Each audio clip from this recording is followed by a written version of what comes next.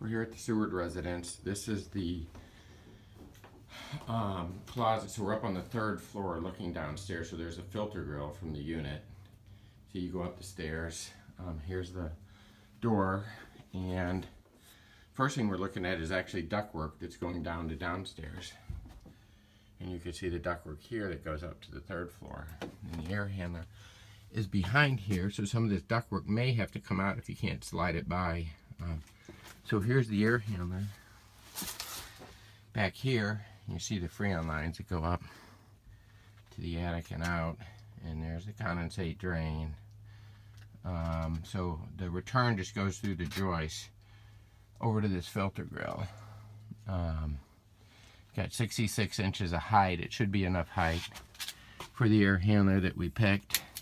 Um, let's see. This filter grill, we're gonna go with a, we're gonna change this filter grill to a filter grill with a four inch filter. And so um, I'll be here and we can talk a little bit more about exactly what to do with that. Thanks, bye.